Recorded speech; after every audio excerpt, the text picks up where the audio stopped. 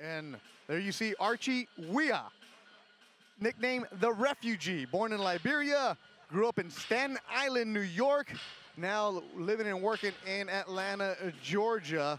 He comes in and he takes on Golden Boy's newest signee, Oscar Duarte from Parral, Chihuahua, Mexico. And Doug, the last time we saw him, he came in as an opponent on two days' notice, had to lose some weight, and he upset a highly touted amateur prospect. Yeah, he dropped an outpointed favored Alejandro Salinas, who was uh, also 3-0 uh, from Youngstown, Ohio, trained by Jack Loew, who developed and trained uh, former middleweight champ Kelly Pavlik.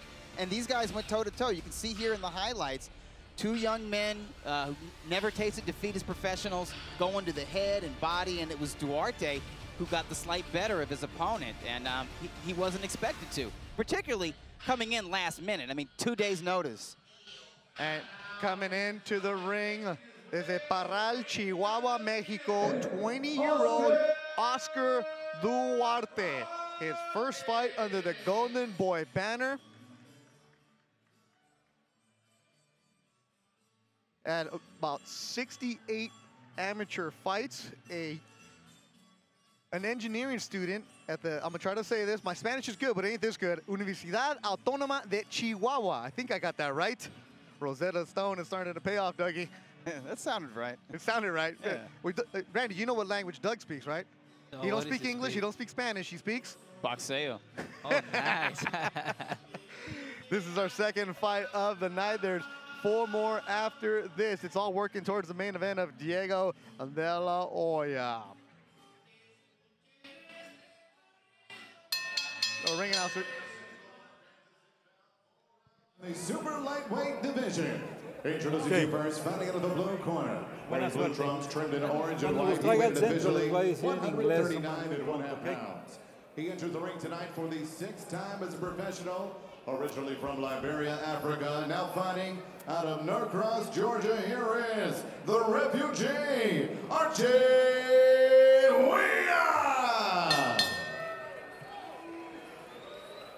across the ring stands his opponent, fighting out of the red corner. Wearing burgundy trunks, he weighed in 139 and one half pounds. In four bouts, he is undefeated with three wins, no losses, one draw, two coming by way of knockout. Fighting out of Parral, Mexico, here is the undefeated Oscar Duarte. Your referee in charge of the action, David Mendoza. Oscar. Should have taken that thing off right now. Why should take that thing off?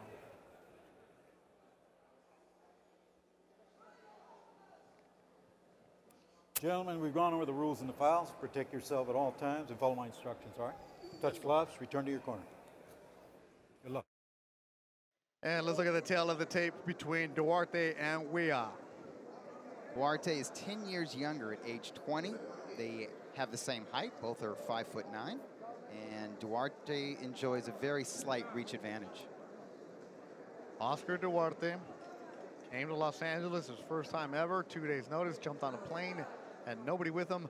He just had, he was actually tagging along to another fighter who was fighting here at Golden Boy, jumped in, said, we'll take the fight last minute notice, goes home, they call him back and say, we're gonna sign you to a contract, because if you could do that with two days notice, what imagine what we can do with you when we actually give you notice and training and fight at your weight. Oscar Duarte Came into this fight weighing 139. Archie Weah 140. They agreed to 140. Weah one and four in his career. Talk about a fighter who came in alone. Took this fight a couple days ago, and had no corner because his trainer is working with other fighters. And you know, Doug, as you've told me, the trainer goes with whoever signs first. Whoever has that fight, that's where you're at. His trainer is working with a bunch of amateurs right now to big competition. Weah was looking around for a corner, literally. Who can be my trainer? Who can be my cut man? Who can be my second? This is, if you taught me, Doug, the journeyman, the, the backbones of yeah, boxing. it's, it's not uncommon to uh, travel solo and um, pick up your trainer and, uh, and, and cut man uh, whenever you get to the venue where you fight, or maybe at the weigh-in you find somebody.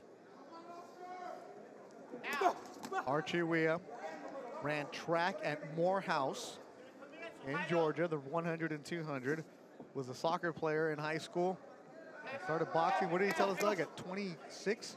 Yeah, it was after his mother passed away, and he was in a real bad place, and, and found a boxing gym and kind of worked through um, uh, an emotional time for him, and, and kind of fell in love with the sport.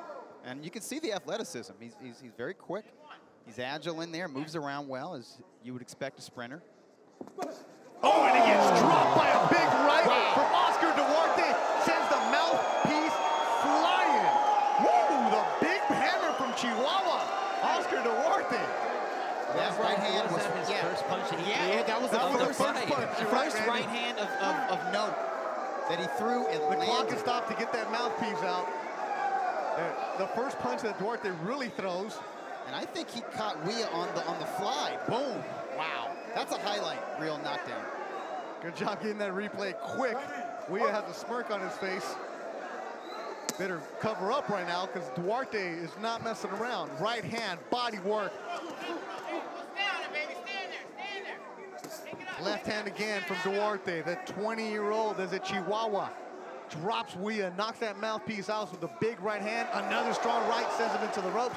Weah trying to hold on. The Golden Boy matchmaker, Roberto Diaz, said he was excited about Duarte. He said he saw something in him in his last fight. And Weah is feeling what he saw. Body work. Weah with his hands down. I thought the body work was the, the real difference in his uh, fight against Salinas. Uh, Left he's, hook. he's showing uh, some a, a lot of power uh, with his headshots in this fight, particularly the uh, the right hand. Final seconds of the opening round. A big punch from Oscar Duarte drops Weah. Weah survives. We go to the second. Let's see what the matchmaker Roberto Diaz had to say about young Oscar Duarte.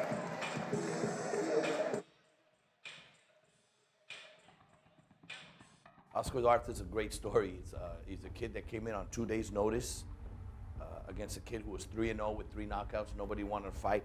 Normally, when you you have a kid like that, especially on short notice, nobody wants to fight a guy with a 100% knockout ratio.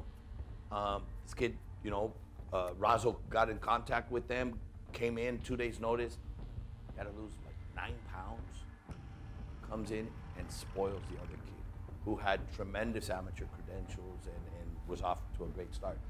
And of course, it's the, the kind of kid that you want that's willing to take on challenges. 20 years old, an engineer. He's going to school to become an engineer. Um, he first fight out here, he was on the B side. He was in the uh, B side, yet he won over the crowd. I mean, I remember the crowd, Güero, Güero, Blondie, Blondie, you know, because he has the blonde hair. So it was it was a no-brainer, and I'm excited to see him back now on TV. matchmaker Roberto Diaz talking about their new signee, Oscar Duarte. Oscar Duarte, saludos a Pepe Gómez desde Cancún Boxing, que nos está mirando ahorita, matchmaker Memo Ochoa. Pepe Gómez, you know, Doug with Cancún Boxing down there, watching this fight.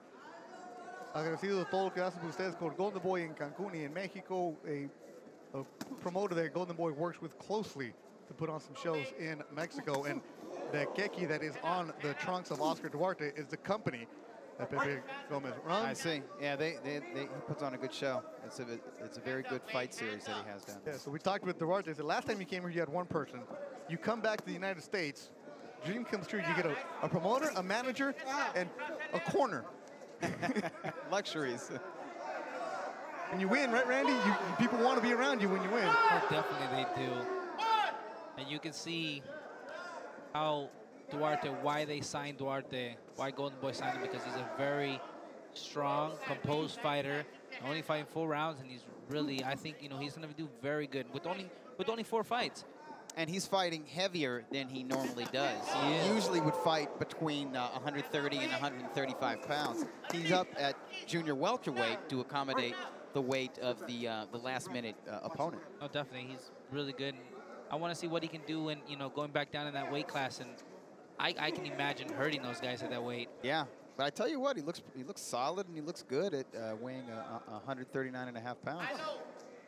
There are going to be natural comparisons to Canelo Alvarez because he's a ginger Mexican. Definitely will got kind happen. of similar hair, even you know similar body type. You know the, the big thighs and, and uh, broad chest and all. Um, and I I can see that. I mean, I can see the, the, with the heavy hands and his punch selection, it does kind of remind me of a young Alvarez. Oh, definitely. To get, you know, recognized like that, to be amongst, be called someone as a great fighter that Canelo is, you know, that's that's something I would, yeah, any fighter would dream about. Yeah, it doesn't hurt. No, not at all. it's not a bad thing. Archie Weah went down hard in the first round, got his legs back here in the second. Oscar Duarte eats a right, but he pushes Weah back into the corner. Body work from Duarte. Weah, a business security analyst for Blue Line in Georgia. They, his bosses are fans of his. They gave him the time off to come out here and fight in California. Last minute notice, he had to lose eight pounds to make 140 where Duarte was already at 133 when the opponent dropped out, so he had the luxury of being able to eat and go up. A Couple rights landed by Weah. Number two, scheduled for four in LA. A representative came to my school talking about the different programs and information security was one. Family, friends, but the best part about graduation day was when I got to announce to my family that I had gotten the job. For some, school is a backup plan, but for me, it was the only plan. And I ended up choosing ITT Tech over other four-year institutions. Scholarships and financial aid are available for students who qualify. Call 800 227 2162. That's 800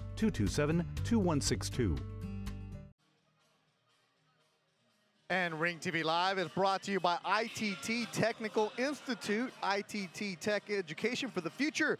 Call today at 800-227-2162. Find out more info and to schedule a free campus tour, 800-227-2162. We're in the third round.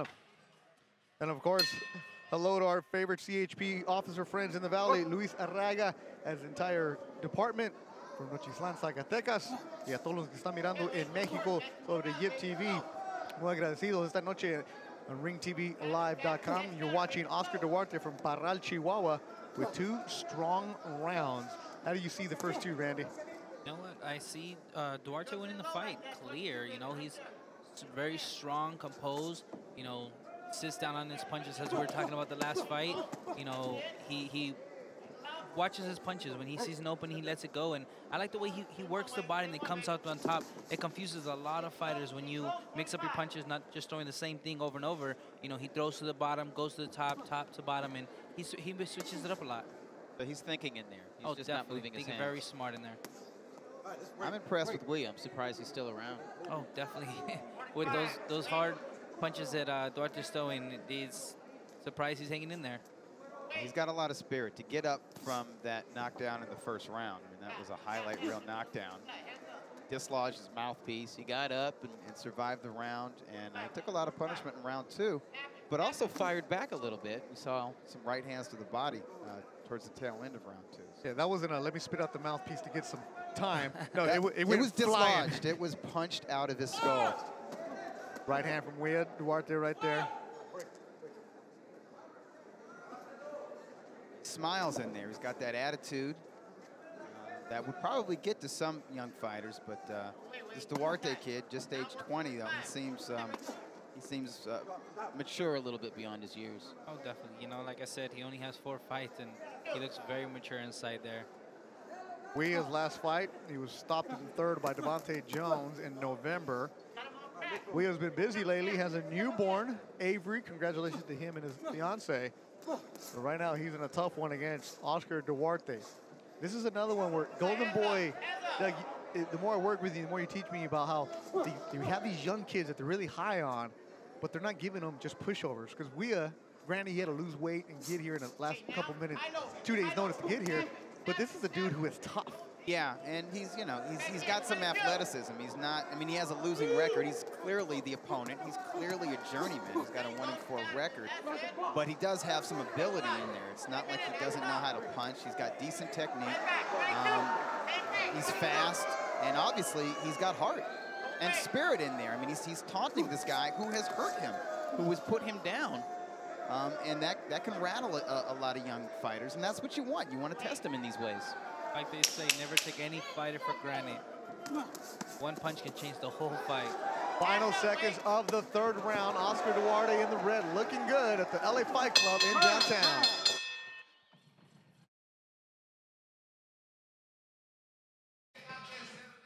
Fourth and final round, the Belasco Theater. There you see Oscar Duarte desde Parral, Chihuahua, Mexico.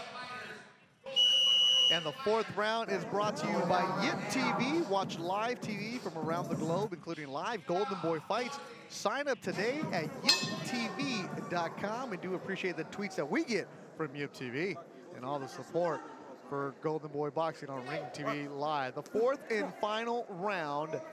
Uh, Weah was dropped hard in the first round. He survived three rounds. Doug, technicality, how do you have it after three? Yeah, I, I have uh, three to zip for Duarte. It's just complete control. He's the man landing the, the, the telling punches. Randy, since it's your first time on, on a broadcast, we're not going to ask you to score in your head. So just tell me, how do you have it after three? I have Duarte winning every single round, very clear. And, um, you know, Wells giving giving him a, a hanging in there, taking every punch that he throws. No, Golden Boy knows how to put their fights together and uh, not, you know, put fighters in there that are just pushovers that are they're just going to walk over. Someone's going to test them and, and show their abilities, what they have inside the ring. And that's what this fight is here. You know, Duarte is winning every single round, but like I said, Wells giving him, you know, not making it easy for him. And what you're saying is you're saying Duarte's strengths, which obviously is his physical strength. Um, it's his his, uh, his punch accuracy, uh, but he's also he's obviously in good condition. He's working very hard. He doesn't look gassed here in the fourth round. Um, but you see, he's not, he's not exactly cutting the ring off as Weah utilizes some lateral movement. It makes you think maybe maybe down the line, if he's in with a, a, a more experienced fighter, a fighter you know with better preparation, with Weah's style, with you know tall, rangy, very fast, with you know straight jabs and rights that utilizes a lot of lateral movement, it could give him trouble. Oh, definitely. Someone with, with a lot more experience will see something like that. You know, not cutting the ring is something you need to do. You need to cut the ring at all times. You know, that'll, that'll put a, a fighter in the ropes and, and keep him there. And uh, I, I'm not saying that Duarte has slow feet either. No, no, I'm not just at all, saying not he- all. he's, he's kind of following Weah. He doesn't he doesn't step. He doesn't block Take him a off to with get in front of right him. exactly. Saludos a todos los que están mirando en la Ciudad de México, también en Guadalajara. We're getting tweets from Mexico City, Guadalajara, Doug, and also a los que están en Villa Lopez, Chihuahua. Thank you for joining us tonight. We're going international. Douglas Fischer. That's how we do it. 40 seconds to go in the fight for Oscar Duarte. And this is a fight for Duarte where he had no clue who his opponent was, and he goes up against a man. He said this is the oldest person he's ever fought. And Randy, that goes back to something we've talked about in the first fight. A young fighter going up against a man with man strength. Left hook landed by Duarte.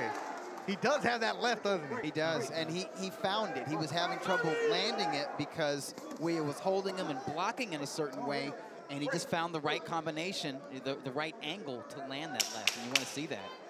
sometimes it takes a couple Final rounds to catch that right, Oh, sorry that about right that. way to throw the punches. Finish it, Randy. Finish it. We got five seconds to go. Someone over here stepping on your toes. You're used to that. It's like a southpaw stepping fight. on you. We're done with four. Duarte and Weah will come back with a decision on LA Fight Club. Back inside the Belasco Theater. It is a cool venue. There you see Oscar Duarte with his team.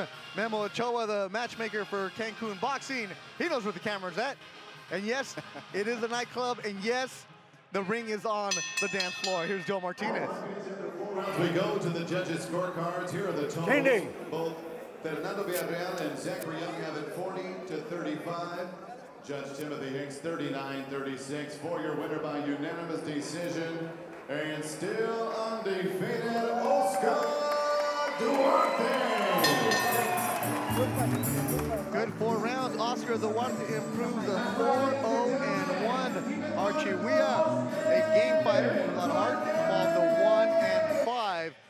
Last minute trip to California, not the way he wanted it, but he goes solid four rounds. A little, and let's look at the highlights from the first round. And the first round is what Oscar Duarte really woke up the crowd here at the Belasco. Wow. He's, he lets people know this is why you want to tune in to watch me fight. Because I will drop a bomb like that on a moving target. Look at that. That's the Gap Band. I dropped the bomb on you. Yeah, I dropped the bomb on you, baby. Bam. There it is. I didn't think he was gonna get up after that punch. Oh my goodness, Randy. Man, as Oscar Duarte is working his way over here.